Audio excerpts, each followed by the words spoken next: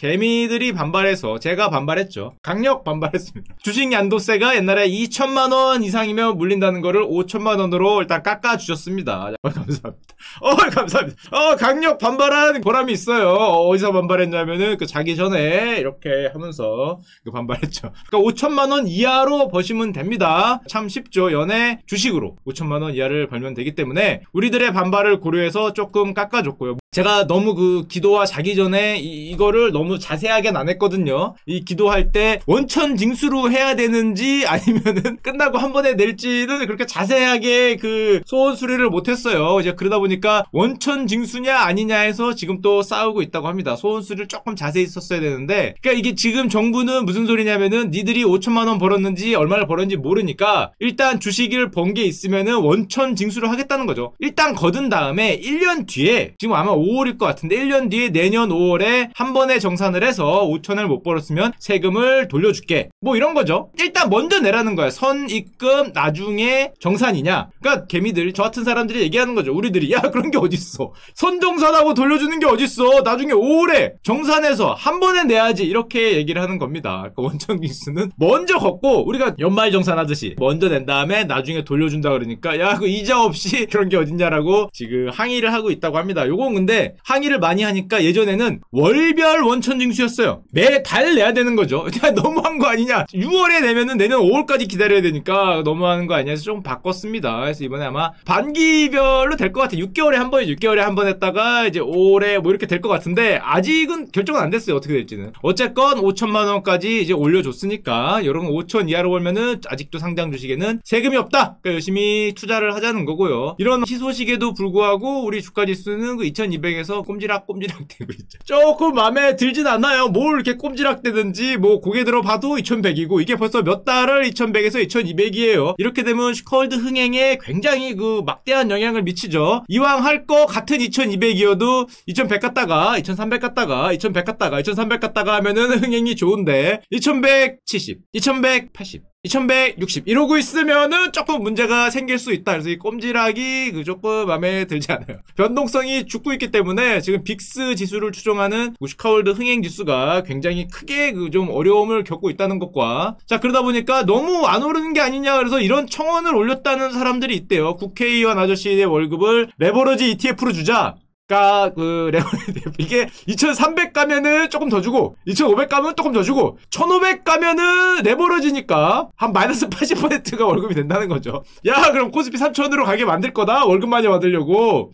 정말 뛰어난 아이디어인 것 같아요. 제가 생각하기에 99%는 안 될 것 같지만, 정말 뛰어난 아이디어가 아닐 수 없다라는 생각을 합니다. 그러니까 뭐, 저 같은 경우는 이미 레버리지 ETF로 받고 있어요. 저는 거의 VIX로 월급을 받고 있기 때문에, 이게 변동성 지수로. 이미 빅 픽스로 받고 있어요. 그러니까 저랑 같이 레버리지 ETF로 가자는 거죠. 3천 명이 동의했답니다. 여기에 누군가는 아마 이 방송을 보고 계실 거예요. 자, 근데 안타깝게 현실은 이러고 있어요. 세종시로 국회의사당이 내려갈 것 같다 그랬더니 요즘에 세종시가 미쳤어요.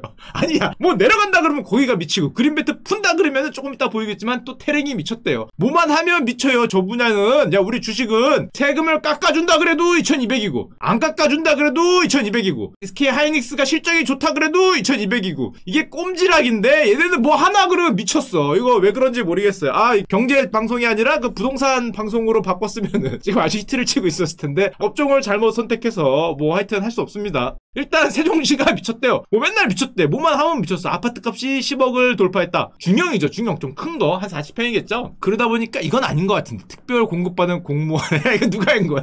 야 공무 아저씨들 돈 벌었다고 차익을 국고에 완수해야 된다는 건. 야 이건 너무하잖아. 뭐 공무 아저씨라고 받고 싶어 받았겠어. 받았다 보니까 올랐더니 야 이거 아저씨 돈 버는 게 좀 뭐 그렇다는 거죠. 야 이거는 벌 수도 있지. 그 아저씨들도. 하여튼 제 생각은 그런데요. 지금 뭐 이번에 쭉쭉 오르니까 가격이 일단 호가가 없어졌겠죠. 자 불란 세종시의 행정수도로 기름을 부었다. 제가 모 방송을 어떤 교수님하고 하나 찍은 적이 있어요. 그 교수님이 저보다 형이셨는데 그때도 얘기했지만은 집이 세종에 있는데 아 서울에 집이 없어서 너무 아깝다라고 눈물을 흘리시면서 그 부동산 전문하시는 분한테 세종시에 있을까요? 서울로 집을 옮길까요? 이런 얘기를 했던 적이 있어요. 다음 주에도 뵙게 되는데 아 일단 부럽습니다. 그 질문을 저한테도 하시길래 저는 그때 그렇게 얘기했어요. 형 저는 세종에도 없고 서울에도 없어요. 그랬더니 갑 자기 아 그렇구나 하고 다시는 질문을 안 하시더라고요. 아 뭐 그랬던 기억이 있는데 뭐 하여튼 게다가 이 세종시만의 특징이 있습니다. 전세는 싸요. 야 전세가 3억이 안 된대. 11억짜린데. 야 좋습니다. 저 같은 사람들이 살기 정말 좋은 거죠. 한마디로 이게 뜻하는 게 뭐예요? 내가 살진 않을 거지만 집은 갖고 싶다는 거죠. 내가 살 생각은 없는 거예요. 세종에 별로. 가격을 오르니까 그 내 거는 하고 싶으니까 전세가율이 25%입니다. 야 전세 진짜 싸다. 11억짜리 집을 3 억도 안 되는 돈을 내면은 살 수가 있어요. 야 이런 거는 진짜 강남 대치에 있는 음마 아파트 뭐 이런 거 있죠. 그 아파트 가면은 지금 이게 한 1970 몇 년에 지은 데잖아요. 한 40년 됐죠 아파트가. 가격은 무지 막지하게 비싼 아파트인데 이거 맨날 재건축 얘기가 나와서 이게 제대로 수리를 안 해. 정확하게 알고 있어요. 그래서 가끔 그 이만한 인섹트님들이 걸어 다니신다는 말을 제가 어디서 그 많이 봤는데 이렇게 깜짝깜짝 놀래는 수십억짜리 아파트란 말을 많이 봤는데 그런 아파트가 이제 전세가율이 보통 낮죠. 살기는 싫지만 갖고 있고 싶으니까. 뭐 이거 자연 친화적이고 좋죠. 전 그런 거 좋아해요. 뭐 같이 가면 이렇게 이렇게 자연 친화적이고 좋으니까. 뭐 하여튼 그렇긴 하지만은 세종시도 전세값은 굉장히 싸다. 재건축 얘기가 제가 중고등학교 때 이 아파트 재건축 얘기가 나왔어요. 그 아직 안 짓고 있습니다. 이 이거 말고도 제가 그 옛날에 그 어디냐 반포 쪽 그거 제가 고등학교 때 재건축한다 그랬어요. 내가 엊그제죠 엊그제 제가 고등학교 때니까 한 5년 전에 뭐 그런 얘기가 있었는데 아직도 그 재건축을 안 하고 있는 뭐 그런 게 있습니다. 게다가 규제가 되니까 요즘에는 뭐 지방 아파트 쇼핑을 뭐 그렇게 다니신다. 서울은 모르겠는데 지방은 이 인구가 좀 이렇게 이렇게 이렇게 아닌가? 이런 생각이 잠깐 드는데 거기를 들어갔다가 아 뭐 이런 걱정은 잠깐 들지만 뭐 없는 제가 드릴 말씀은 아니고요. 자 게다가 이것 때문에 저희 교수님이 하신 말씀이 있어요. 빠른 뉴스입니다. 26일 날 제가 이중구 교수님 수업을 한번 들었어요. 물론 그 기쁜 기억은 아닙니다. 제가 이중구 교수님 수업을 들었다가 제 기억은 잘 안 나는데 C인지 D인지 둘 중에 하나 받았어요. 뭐 이랬던 기억이 있기 때문에 이렇게 뭐 썩 그렇게 뭐 이렇게 좋은 기억은 아니지만 하여튼 뭐 들었던 기억은 나는데 자 이번 710 부동산 조치 에 아직 실패작은 단정하기 이르지만 3, 40대 너희가 패닉 구매라는 거는 오래 잘 수 없다 이렇게 일침을 놔주셨어요. 그러면서 뭐라고 하셨냐면은 딴 건 모르겠는데 눈치 게임을 하고 있다. 경제학부 교수님이거든요. 눈치 게임 그러면 게임 이론이라는 거죠. 게임 이론. 그래서 아 맞아 이걸 게임 이론으로 분석을 해봐야 되는구나 라는 생각을 했어요. 게임 이론이 뭐냐? 죄수 A와 죄수 B가 있습니다. 다 고백을 해서 이놈이 찔렀어요. 이놈이 찔렀어요. 서로 고백을 하면 5년이고요. 저는 안 찔렀어요. A가 범죄를 안 저질렀어요. 하고 가만히 침묵을 있으면 얘가 만약에 A가 B를 찔렀다. 그럼 B는 독박 20년입니다. 그러니까 둘 다 불면은 정상 참작을 해서 5년인데 한 놈만 불면은 그 놈이 독박을 써서 20년이고 둘 다 근데 안 불었다. 그러면 뭐 할 수 없는 거죠. 증거가 없으니까 그냥 다른 명목으로 1년만 사는 아주 베스트한 결과가 나온 게 게임 이론이죠. 고백으로 아, 고백하니까 자백 죄송합니다. 야 고백 쓰니까 이상하다. 고백해서 혼내주는 게 아니라 고백이 아니네. 그래 자백이네 자백. 왜 그치 왜 고백을 해 거기서 수사관님 앞에서 사실은 제가 이렇게 고백하면 안 돼요. 아, 자백이죠. 고백은 좀 위험하긴 합니다. 자 이런 경우에 베스트는 서로 1년 1년이죠. 자 고가 아니라 잡니다. 고가 아니라 자다. 하여튼 이 베스트는 1년 1년인데 서로 이 B의 입장에서 보면은 내가 만약에 고백을 하면은 뒤에 있는 거죠. 5년 또는 무죄예요. 5 또는 내가 만약에 침묵을 하면은 얘가 A가 뭘 선택하냐는 모르니까 서로 이렇게 모른다는 가정입니다. B는 20년 아니면 1년이에요. 그럼 B 입장에서는 자백을 해야 됩니까? 침묵을 해야 됩니까? 침묵을 하면 운 없으면 20년이고 잘 되면 1년이고 고백을 하면 5 또는 0이에요. 아 고백이란다 자백을 하면. 그러니까 B 입장에서는 자기가 유리하려면 자백을 한다는 거고 A도 똑같죠. 자기가 유리하려면은 자백을 하는 겁니다. 그러다 보니까 게임 이론상 이런 상황에서는 A도 고백, 아, 자백. 고백이라고 합시다 헷갈리니까 A도 고백, B도 고백해서 서로가 고백 고백을 해서 5년 5년을 해서 즐거운 이 노후를 해로한다는 게 게임 이론의 결론인데 사실은 사회적으로 보면은 최적은 뭐예요? 둘 다 침묵 침묵해서 1년 1년이 최적이에요. 이게, 무슨 뜻이냐면은 게임 이론의 뜻은 가만히 지들 유리한 대로 내비두면은 불행하게도 서로 고백을 해서 결혼을 한다는 거죠.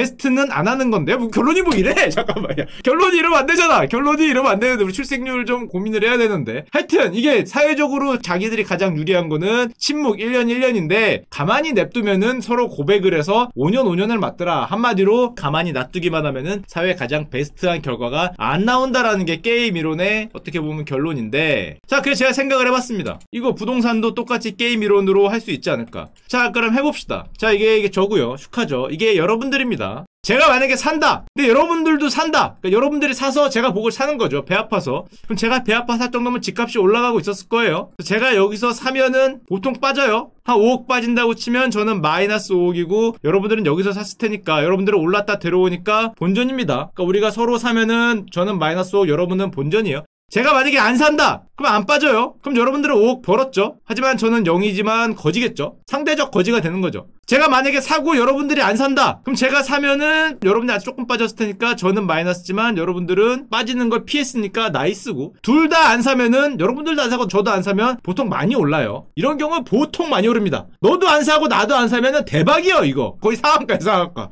보통 상한거기 때문에 너와 나는 다 거지가 되는 거죠. 이거는 확실해요. 확률이 이거는 장난 아니야. 너도 안 사고 나도 안 사면 대박 올라요. 대박. 이게 진짜 대박이기 때문에 보통 이렇게 되면 자 우리 게임 이론을 생각해 봅시다. 뭐가 가장 유리하냐? 축하 입장에서는 안 사면은 0, 0이고요. 사면은 마이너스 5, 마이너스 2예요. 그럼 저는 당연히 안 사야겠죠? 유리한 걸 치면은. 그래서 제가 안 사고 있는 거예요. 아, 이런 논리적인 게 있는 겁니다. 경제학적 그 게임 이론에 따르면 저는 안 사야 되는 거예요. 그럼 여러분들은 사면은 0, 5고 안 사면은 0, 0이니까 여러분들은 사야 되는 거예요. 이게 사회 현상이죠 지금. 나는 안 샀는데 축하 친구들이 많이 사서 가격이 올라서 여러분들은 좋고 5억이고 저는 상대적 거지가 되는 현상이 지금 실제인 거죠. 결론이 이상해 가네. 하여튼 이게 지금 현실인 겁니다. 저는 안 사고 여러분들은 사서 여러분들은 5억을 벌고 저는 거지가 된 게 이제 현상인 건데 게임 이론상 최선은 뭐예요 사실? 최선이네 잠깐만. 어, 그런, 잠깐만. 그렇게 보니까 또 이게 위에 죄수의 딜레마하고는 다르게 이거는 플러스 5, 0이고 0, 0, 0 마이너스 2, 0 마이너스, 어, 이거 최선이네요? 우리는 최선의 길로 가고 있는 겁니다. 뭐야, 뭐 결론이야. 하여튼 뭐 그런 거고 해서 우리 교수님 말대로 게임 이론을 얘기해 보니까 하여튼 뭐 결론은 그렇고요. 아, 딴 얘기 합시다. 딴 얘기. 자, 그렇게 돼서요. 근데 저게 문제가 근데 뭐냐면은 저런 식의 게임 이론 생각으로 슈카 가지고 안 샀으니까 나는 사서 대박을 나서 나는 5억을 벌고 쟤는 가난하게 만들어야지라는 훌륭한 아이디어로 접근을 하면 외지인들이 이렇게 빠지잖아요. 빠지면 이렇게 돼요. 순식간에. 청주의 부동산 시장은 꽁꽁이다. 옛날에 이런 현상이 잘 없었거든요. 잘 되면 부동산은 보통 같이 올라가고 안 되면 같이 빠졌는데 나는데 이제는 무슨 이게 유행처럼 돌아서 이게 패션인 거죠. 모자가 잘 팔리면은 옷이 안 팔리고 뭐 이런 현상이 벌어지면서 청주에서는 싹 빠져나갔다는 거예요. 청주의 부동산 시장은 거래량이 감소됐어요. 아까 전에 봤지만은 무슨 뭐 태릉이라든지 세종은 올라가는데 청주 같은 경우에 빠지는 이게 뭐 유행처럼 부동산 시장이 돌고 도는 외지인의 어떤 영향이 이렇게 영향을 미치고 있는데다가 게다가 또 이 아마 슈카월드를 많이 보시는 것 같아요. 이 기사 쓴 분이 그 30대 절망론 과천 로또 아파트가 있었는데 83점 청약 점수입니다. 84점이 만점인데 만점 채운 분이 있다는 거죠.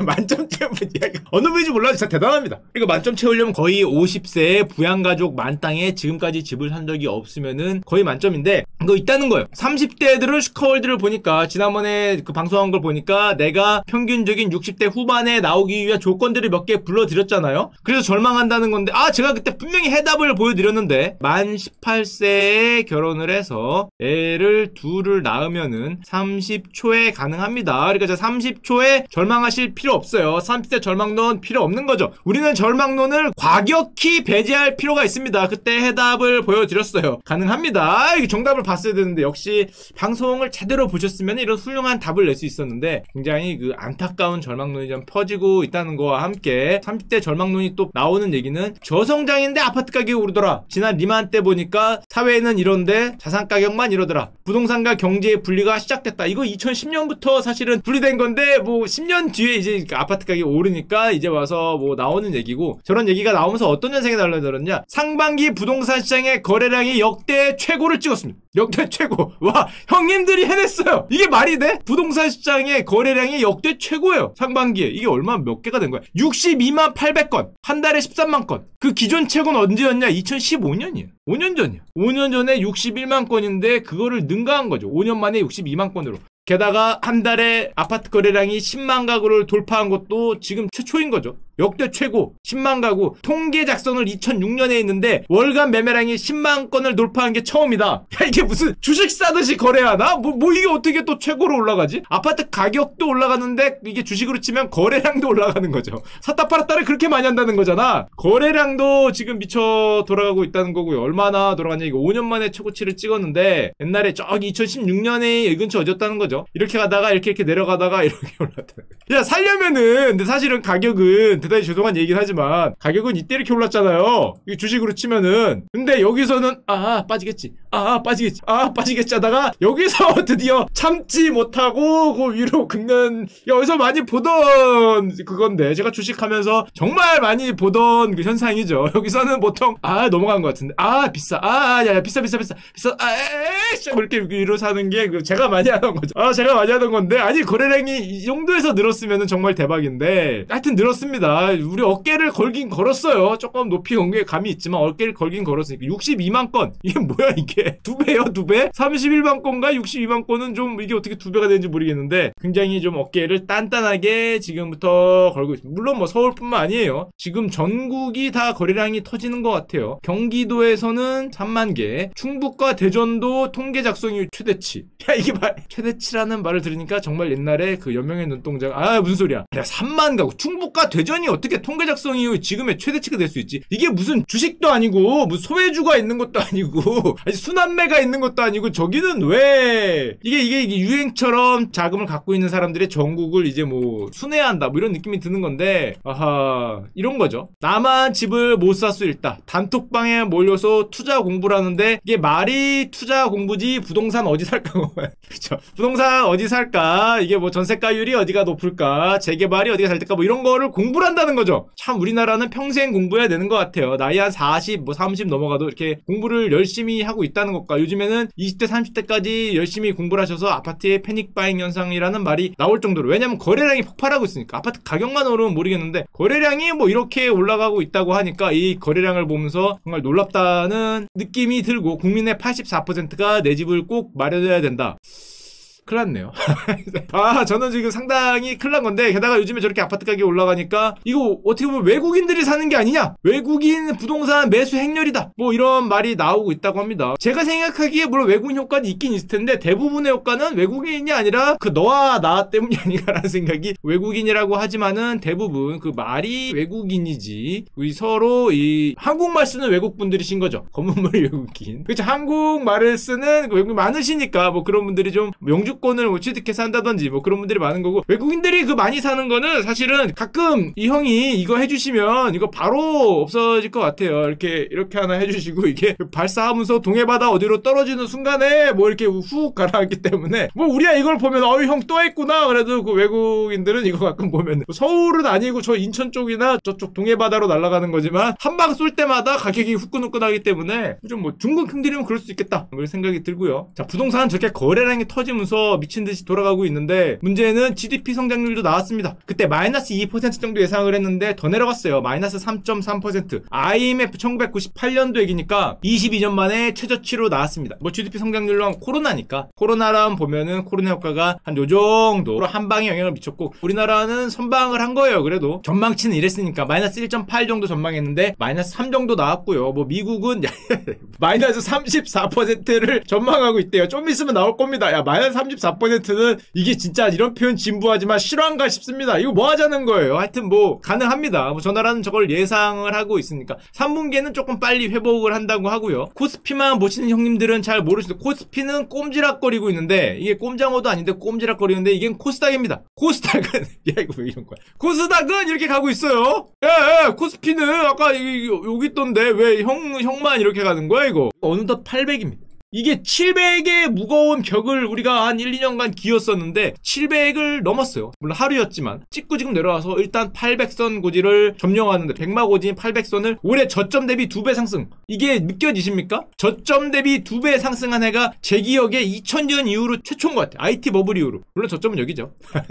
저점은 여기긴 합니다. 이거 좀 말이 안 되는 거긴 하지만 저점이 뭐 믿기지 않겠지만 4개월 전에 코스닥이 400이었습니다. 400에서 800 온 거예요. 아무거나 샀어도 두 배였어요. 아무거나 여기로 치면은 사실 말이야 누가 여기 샀겠어. 이거는 산 사람은 없다고 봐야죠. 손절한 사람은 있어도. 뭐 대충 한 500에서 600 사이 사서 800 갔으니까 대충 60% 났어요. 뭐 그냥 아무거나 샀어도 평균가에 샀으면 60%예요. 이거는 정말 정말 대박 2000년 이후로 거의 최고의 대박이 아닐까 생각이 되는데 그럼 누가 샀냐? 당연히 기관과 외국인은 팔았고요. 형님들이 사셨습니다. 야야 어떻게 날 믿었지? 형님들이 해냈죠. 올해는 뭐 아시겠지만은 형님들이 막강하게 해놨기 때문에 야 여기 대단해요. 형님들이 얼마나 많이 샀냐? 저는 이거 보고 처음에 깜짝 놀랐습니다. 진짜로 깜짝 놀란 게 얼마나 많이 샀는지 증권사가 대출을 중단했어요. 이게 무슨 소리냐? 증권사가 대출도 해주냐? 해주죠. 이거 뭐예요 이거? 주식 담보 대출. 주식으로 주식 사라고 돈 빌리는 것을 증권사가 해주고 그 이자 수익으로 증권사가 돈을 버는데 너무 많이 빌려서 갖고 있는 돈이 올인 났어요. 대출 중단했어요. 형들이 너무 많이 빌린 거죠. 아, 이게 빌릴 수 있는 한도가 있어요. 아마 법적으로는 자기 자본의 한 100%될 거고 자체적으로 100%를 넘어가면 안 되니까 아마 뭐 대형사는 한 30%, 중소형사는 한 50% 넘어가면은 대출이 끊길 거예요. 자기 자본에. 그러니까 한마디로 형님들이 너무 많이 빌려가서 빌려줄 돈이 없어졌어요. 야, 증권사 대출이 그렇게 싸지 않을 텐데 지금 하나하나 다 끊고 있는데요. 일단 삼성증권은 23일 날 있는 돈 다 썼어요, 형들. 우리 올인 났어요. 라고 공지했고요. KB증권도 역시 있는 돈 다 썼죠. 여기 100% 초과하면 안 되는데 신용공여 돈을 빌려주는 거를 자기 자본의 100% 이내기 때문에 갖고 있는 돈 다 썼다는 거죠. 물론 저기만 그러냐 미래에셋대우 한국투자증권 이미 신규 대출 중단했습니다. 레버리지가 full로 돌아갔다는 거죠. full로 이미 이자 수익을 받을 수 있는 내가 이자 수익을 받을 수 있는 max로 이미 받고 있다는 겁니다. 얼마가 들어갔냐 지금 사상 처음으로 13조 원을 돌파했는데요. 그걸 가서 자료를 뽑아봤습니다. 얼마나 늘으셨는지. 신용 공여 이거 빌려준 겁니다. 신용 공여라는 게 돈을 빌려준 잔고 추이인데요. 여기 여기 여기.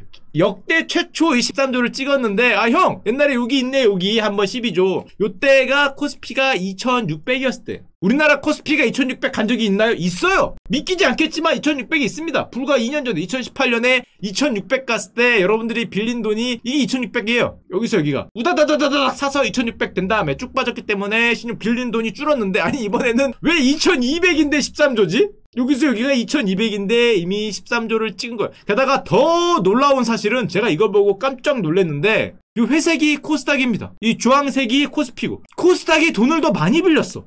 야 이게 이게 이게 이게 어떻게 이럴 수 있지? 아니 돈을 빌려 산 게 코스피도 있는데 코스닥을 여러분들이 더 많이 산 거예요. 야 진짜 배짱 하나는 끝내주십니다. 와 이거는 상상을 못했거든. 저는 당연히 유가증권이 좀 많이 빌리고 코스닥이 조금 덜 빌려서 잘했더니 그 돈 빌려서 산 게 코스닥인 거죠. 아 진짜 이 배짱은 정말 대단하다. 이거 어떻게 이렇게 심장이 크신지 아무나 못하는 건데 지금 보면 미래에셋대우 6천억 다 나갔고요. NH 5,600억 다 나갔습니다. 올인 난 거죠. 한투 4천억, 삼성증권 4천억 갖고 있는 돈 이미 다 빌려줬어요. 그래가 빌려준 돈만 일단 올인이 났냐? 예탁금이라는 게 있습니다. 이게 뭐냐면은 아직 내가 뭘 살지 모르겠지만은 주식 계좌에 넣는 거죠. 주식 계좌에 예를 들면은 천만 원을 미리 충전해 놨다가 눈치를 사악 보다가 삼전 200 사야지, 하이닉스 100 사야지, 뭐 무슨 엔씨소프트 몇 사야지 이렇게 예비로 충전해 놓은 돈이 50조예요. 50조. 야 예비 돈이 아직 50조 남아 있습니다. 자 빌려서 13조 들어갔는데 아직 안 산 게 50조예요. 이것도 역대 최대.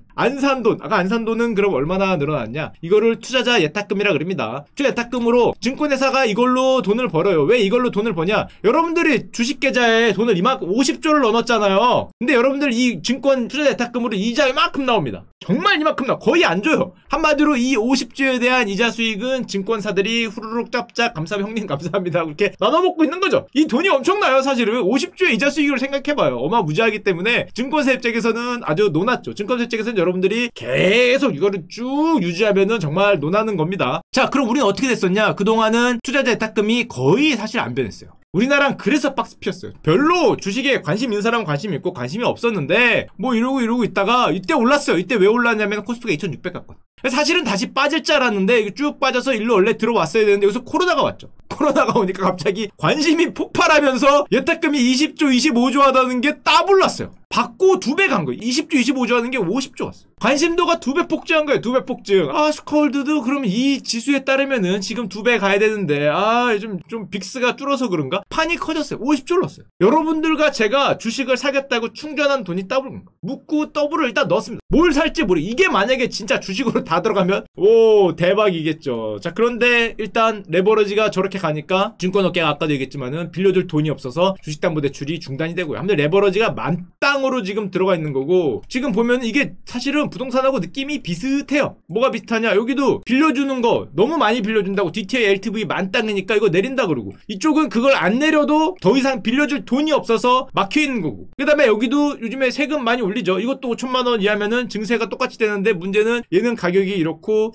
아 얘는 좀 이렇게 꼼짝 그런 현상이 조금 벌어지죠. 정부용들은 이거는 나쁜 거고 이거는 좋은 거라 그러는데 좋은 거는 꼼지락대고 나쁜 거 원래 그 불량식품이 맛있는 거죠. 원래 불량식품이 맛있기 때문에 아 이게 이게 좋은 식품이고 이게 나쁜 식품인데 가격은 좀 이렇게 되는 이게 좀 이렇게 이런 나중에 사람들이 건강을 생각해서 헬스가 이렇게 좀 유행이 되면은 여러분들의 몸과 건강을 생각하면은 이제 이게 올라갈 날이 되면은 컬들이 올라가지 않을까 뭐 이런 생각을 하는데 자 이렇게 쭉 들어보면은 돈도 많이 빌려줘. 이자 수익 대박이야. 그 다음에 사람들이 돈 사겠다고 증권사 계좌에다가 저렇게 돈을 갖다가 쏟아 넣어서 50조야. 게다가 거래량은 당연히 최대겠죠. 그럼 가운데 있는 증권사들은 일단 논하고 있습니다. 일단 논았어요. 1분기에는 논하지 않은 이유가 얘가 그때도 얘기했지만은 증권사들도 자산 덩어리예요. 주식 가격이 빠지면 들고 있던 게 폭락을 하기 때문에 1분기에는 노는커녕 거꾸로 반대로 논았는데 마이너스가 컸는데 지금 주식 다 반등했잖아. 다시 2200 왔어요. 그럼 사실은 거래량이라든지 레버리지가 줄어야 되는데 아직도 안 줄고 저렇게 위로 가고 있으니까 주식 가격은 돌아왔는데 폭등하는 거는 여전히 빚도 많이 빌리고 돈도 많이 넣었으니까 증권사들은 지금 역사상 최대 분기가 가능할 것 같습니다. 와 이게 참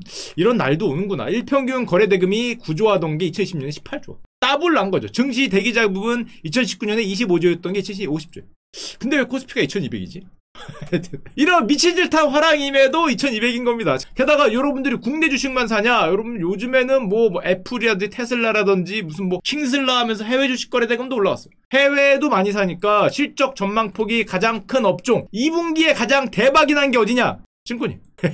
1분기 대비 2021분기 대비 2분기 증익 가장 돈을 많이 번 퍼센트로 따지면은 어디냐면 증권은 지금 이게 600%입니다. 대박이 난 거죠. 1분기에 완전히 폭망했다가 2분기에 V자를 넘고 올라온 게 증권이 됐어요. 혼자서. 2분기에 나머지 다 망했어요. 코로나에 직격탄을 맞은 게 2분기잖아요. 다 망했는데 남들 망할 때 이렇게 웃고 있는 데가 이렇게 하나 있죠. 물론 그렇다고 증권주가 많이 올라갔냐? 정확히 알고 있어요. 제가 왜냐하면 그 들고 있거든요. 많이 오르기는 개뿔이죠.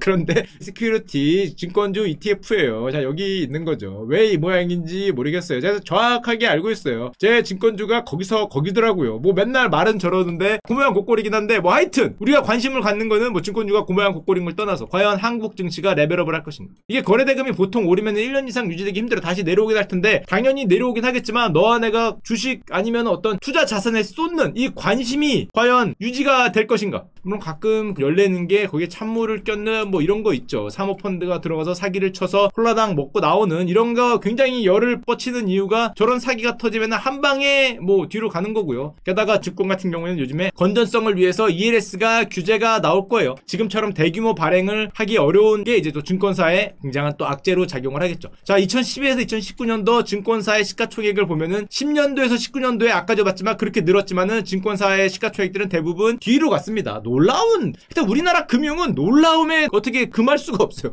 그렇게 돈을 잘 버는데 은행 주가가 이러고 있죠. 그렇게 대박인데 증권사도 이러고 있어요. 아, 하여튼 우리나라 금융은 해내고 있다. 한국 금융지주는 왜 이렇게 올랐냐? 뭐 키움이야 브로커리즘에 있다고 쳐도 한국 금융지주는 떡밥이 하나 있죠. 혹시라도 관심 있으실까봐 그 카카오뱅크의 2대 주주입니다. 저기는 카뱅 같은 경우에 이제 막 돈을 버는 곳입니다. 0에서 이제 막 돈을 버는 거기 때문에 물론 미래 기대는 엄청난데 요즘에 20, 30대 아저씨 들은 아무래도 저런 거에 60대보다는 좀 익숙하다는 게 조금 득이 되겠죠. 참고로 한국 금융주주가 원래는 뭐였냐면은 동원이었죠. 기억나시죠? 여기가 한투입니다. 원류죠. 아시는 분은 다 아실 거예요. 여러분들이 동원 참치를 먹으면서 한투에서 거래를 하시면 여러분들은 동원 그룹의 어떻게 보면은 그 친구가 되는 거예요. 동원 그룹에 참치 하시던 분이 그 김재철 회장님이라고 우리나라의 참치 왕으로 불리시죠. 요번에 은퇴하셨어요. 2019년 4월에 우리 참치왕 김재철 회장 선생님이 50년의 항해를 마치고 은퇴하셨는데 첫째가 가져간 게 옛날에 동원증권 지금의 한국투자 한국금융주주가 되는 거고 둘째가 참치를 만드는 거죠. 첫째는 금융, 둘째는 참치입니다. 쭉 얘기의 결론은 뭐냐면은 2010년 리만 이후에 한번 경험했던 우리가 2020년 되니까 successful investing 뭔가 투자에 대한 관심이 이쪽도 미쳤고 이쪽도 미쳤어요. 세상의 거래량과 어떤 뭐 관심도와 뭐 레버러지와 모든 게 다 엄청나게 몰려가고 있는 건 맞는 것 같은데 물론 이쪽은 가격이 오르고요. 이쪽은 가격이 옆으로 가고 있다는 그 안타까운 현실은 있지만은 이 관심도가 엄청나게 지금 폭발하고 있는 그런 시대에 살고 있다는 것과